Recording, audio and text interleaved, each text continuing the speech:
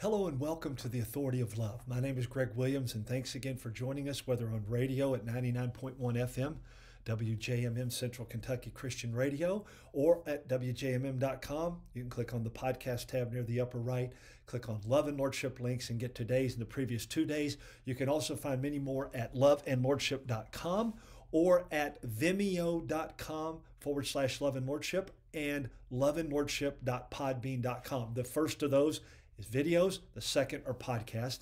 Uh, check us out at, uh, or, or, email me at uh, loveandlordship at gmail.com. Now, having revisited and established, according to God's word, what love, authority, and humility are, and why they are so absolutely necessary in the lives of Christ's followers, we're going to shift a little bit today to the practical application of these virtues and truths in our own lives and relationships. You might be saying, well, I know what love and authority are, and we do pretty well in our lives.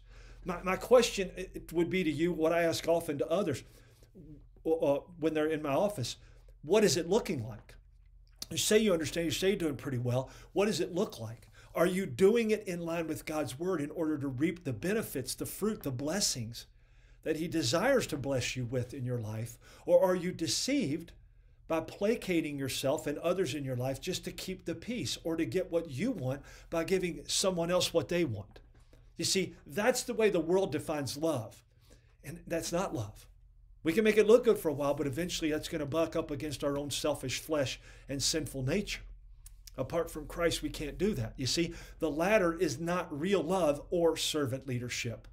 And it will always show up lacking at some point in your life and relationships, usually at the most inopportune times. Isn't that always the way? They call it Murphy's Law, right? But it's really we're reaping what we've sown. So, what is real love and real authority in real life?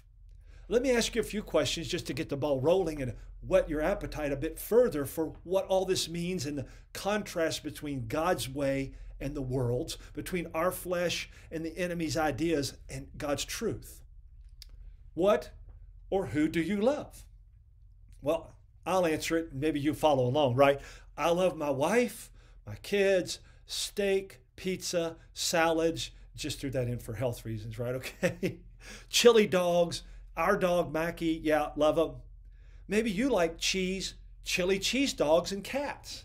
I don't know, but I'm your host, Greg Williams, and as promised at the close of yesterday's program, we're going to apply Jesus' teachings and modeling of love and authority to our own lives and relationships. Obviously, we love, like, feel strongly about lots of things. Okay? Let us know some of the things that you love. Share them at loveandlordship at gmail.com or message me on the Love and Lordship Facebook page. You see, God, who is love, had some very specific things to say about love and how we should live it out in relationships. I want to share three key concepts of godly or agape love. Remember, that's the Greek word Greek word for God's kind of selfless, sacrificial love that prefers Him above all else. At any point, if I compromise His truth or love, I'm not being loving, no matter how much it makes the other person feel good.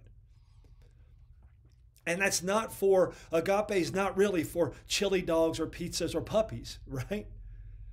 But it works really well with my wife and children when I do it. And, and, and, then they understand and give me grace when I stumble. You see, agape, once again, literally means that my love for others stems from God's love for me and my love for Him, preferring Him and His truth above all else. When I compromise that, I move out of love. Do you consider His truth and love in your decisions, actions, and relationships? Do you consider it above your own feelings and thoughts? Above what others think about you? There's some good food for thought. I'll have some more at the end, right? Before I continue with this teaching, I'm compelled to say the following. If you've been listening to the authority of love from the beginning, you're hearing some things repeated.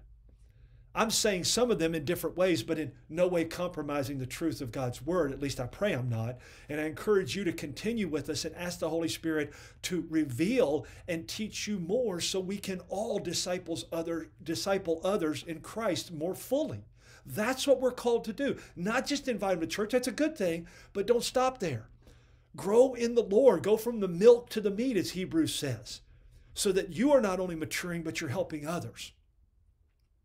With that said, I, I again am compelled to go back and make sure our new listeners are able to hear and I pray benefit in maturing God's word and as Christ disciples in their own life and in the lives of those they touch. Thank you for the new listeners.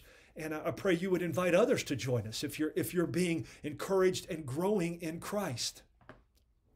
Thank you for sticking with us here and the authority of love. And I'm praying daily for all listeners to continue to mature in Christ and help bring others to Him and disciple those who don't know Him as Savior and Lord.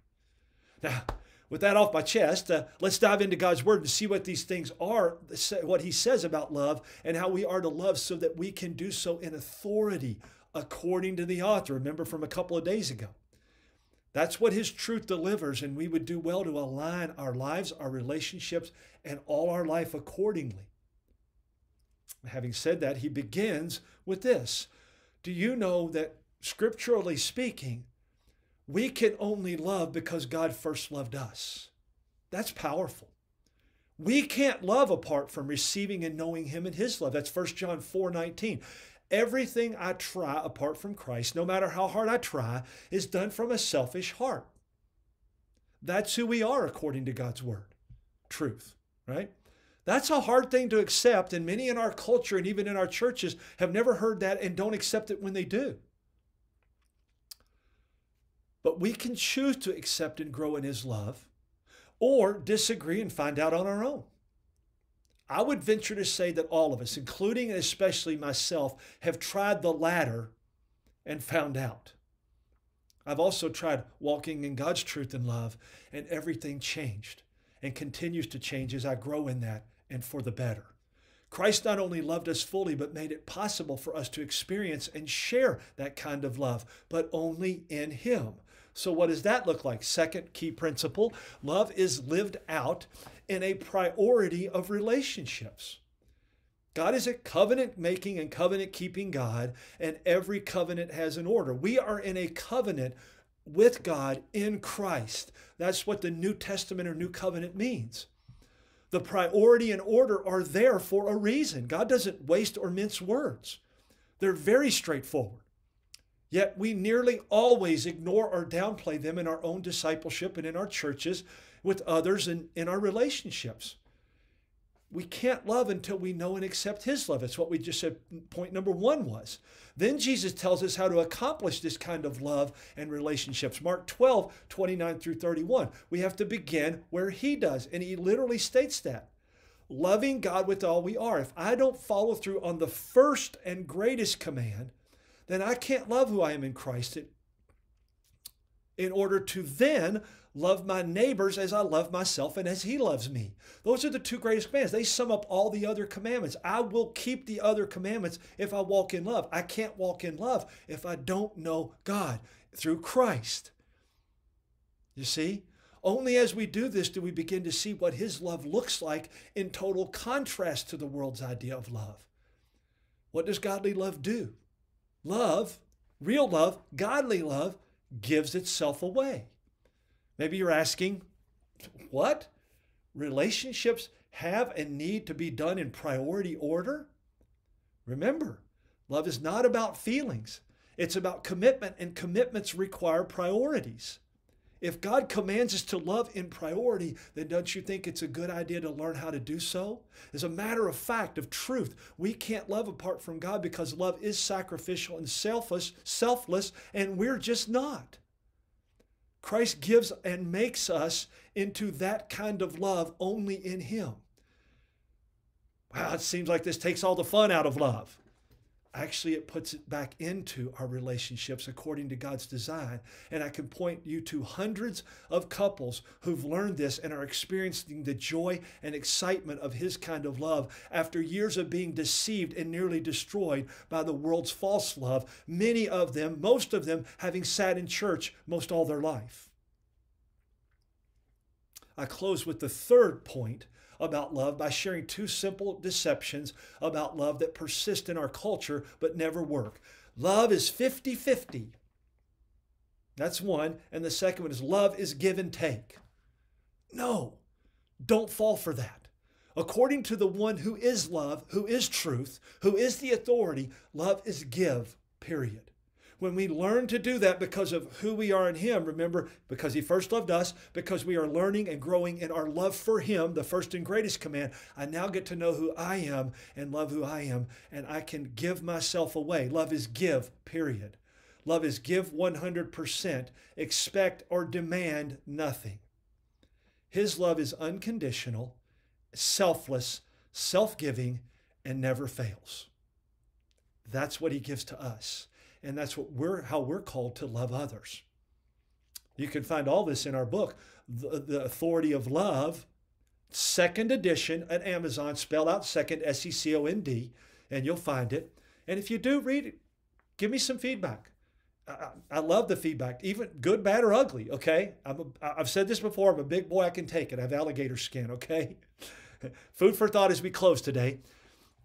What we've talked about today ought to prompt some feedback. Join our conversation at love and, on the Love and Lordship Facebook page or email me at loveandlordship at gmail.com. Let's discuss this further as we continue with more on relationships and, in particular, marriage, sexuality, and family, where relationships are truly to begin and then flourish in our churches and then impact others. Three action items. You know the first two choose to spend time in, with God and His Word and in prayer every day and listening to Him. As you do so, ask the Holy Spirit to show you what it means that we can only love because of his first love, his love first for us. We can only love because he first loved us. And then third, ask yourself, based on your relationships and how they've gone, family, dating, engagement, marriage, etc., friendships, whatever, why is it imperative that I love God first and with all that I am? Why did he make that the first and greatest? Well, first of all, in, I'll tell you one more tip. In the Greek, that word literally means just like it did in the Hebrew in the beginning, God, it's first in time, order, rank, and priority. It's not just because he deserves it. That is absolutely true.